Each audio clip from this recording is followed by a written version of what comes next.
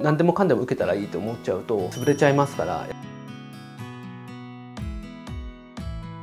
はい、おはようございます。サスヤメンタルクリニックの院長増田祐介です。本日は嫌な頼み事は断った方がいい。えー、どうやって断るのか、どういうイメージで、えー、断ること、受け入れることを考えたらいいのかというテーマでお話ししようと思います。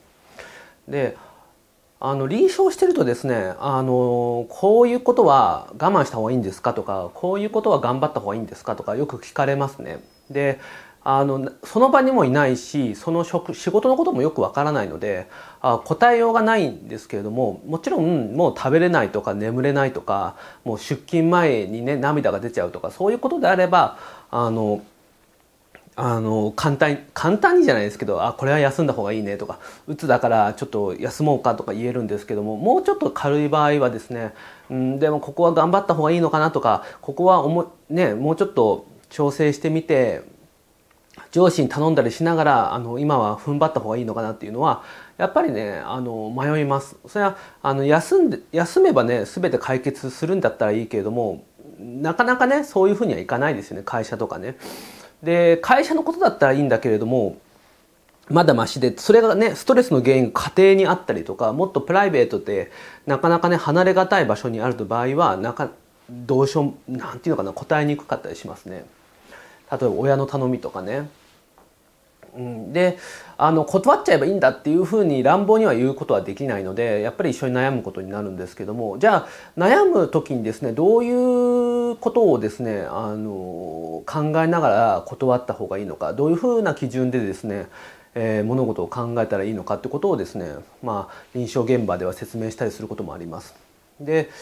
えー、っとですね、まあ、ティーチングと呼ばれるもので、まあ、発達障害の人とかはですねそういうことを考えるのが苦手な方が多かったりするので、まあ、こういう説明をしたりしますもちろんうつ病とかですね不安障害の人にもこういう説明したりしますね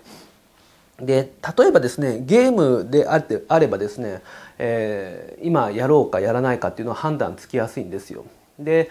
あの最近はですね女の子であってもですね、まあ、テレビゲームする方多いのであのよくゲームで例えたりするんですけども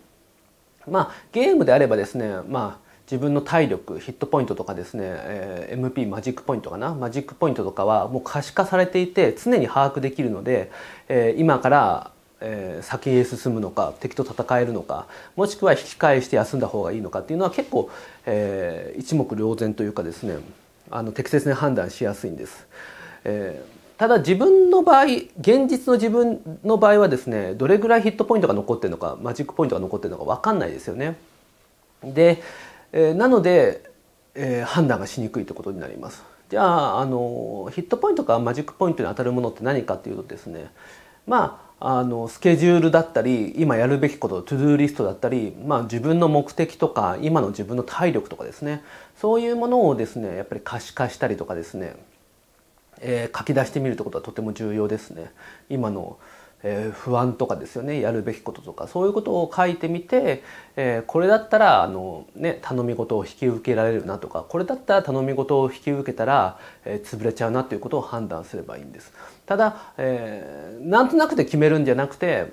あのなんとなくで決めてもいいんですけどなんとなくじゃ決まんない時は、えー、もう一回冷静にですね自分の今の立ち位置ですね今のヒットポイントマジックポイントはどれぐらいなのか具体的にはスケジュールとかやるべきこととか自分の目的とか今の体力とかどれぐらいなのかを、えー、可視化した方がいいんじゃないかなと思います。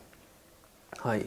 であのじゃあどうして我々は我々はですねこんなに忙しいのかこんなに苦しい思いをしてるのか頼み事が多いのか頼まれ事が多いのかっていうことを、まあ、考えてみるとですねあのこう会社ってどうなってるのかっていうとですねまず株主がいるんですよね。で株主がいてそこの命令を受ける社長的な人がいてで社長的な人がですねまあ、上司を通じてこれやでって言ってですねこれは絶対いつまでにやれよというふうに仕事を投げるんですよね。で投げられるとこのこれまあ今回は3人でやってます。この3人で完結しなきゃいけないので、まあ、互いに押し合うんですよね。仕事を押し付け合うというか頼み事を押し付け合ったりするという感じです。悪い言い方するとね。だからあの自分も今厳しいし自分のポイ基本的には自分のこういうこれをね管理するのも結構難しいので上司であろうとですね相手のここここら辺が見えてこないので、まあ、ちょっとやってよやってよとか言って押し合ったりしていくっていうことになるんですね。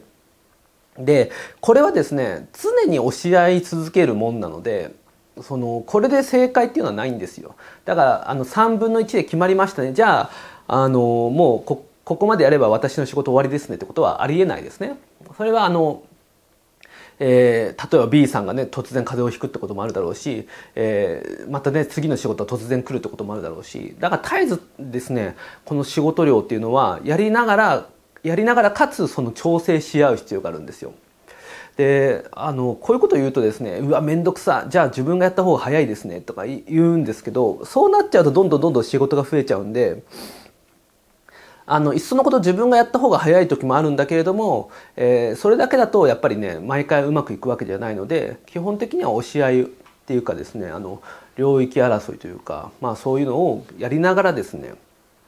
陣地取りをやりながら、えー、適宜自分で消化していくというイメージを持つのがいいですね。だからこういう概念がなくてだんだんもう何でもかんでも受けたらいいと思っちゃうと、えー、よくないのであの潰れちゃいますからやっぱりこう自分のねえー、余力っていうものを絶えず把握しそして全体の仕事の中における自分が今やってるところはどれぐらいなのかっていうのを把握しつつ相手にできそうなものをまあ悪い言い方すれば押し付けるえー、いい言い方をすればあの譲り合う ことがとても重要ですね。これを常にやり続けるとことが結構、えー、大事だし、まあ、難しいところですね人間社会の。だからどうやったらあのうまく断れるかとかどうやったらうまく相手に押し付けられるかっていうのは正解はないんですねこれはあのたった一つの正解っていうのはなくて絶えずこう交渉し続けるっていうこと必要があるので、えー、それはちょっと面倒くさいんですけれどもまああの9勝1敗を目指すっていうわけじゃなくてまあ、えーね、5勝 6, あ 5, 5勝5敗4勝6敗を目指せばいいのでまあ時にはね3勝7敗もあるかもしれないですけれどもまあ全負けしないようにある程度、えー、調整していけばいいんじゃないかなというふうに思いますね。はい、ということで本日は、えー、嫌な頼みをこの断る。嫌な頼まれ事を断るにはどういうふうに考えたらいいのかということをテーマにお話ししました、えー、以上でこの動画があります、えー、もしこの動画を見て良いと思ってくれた方は、えー、グッドボタンをチャンネル登録とシェアの方よろしくお願いします。ではまた。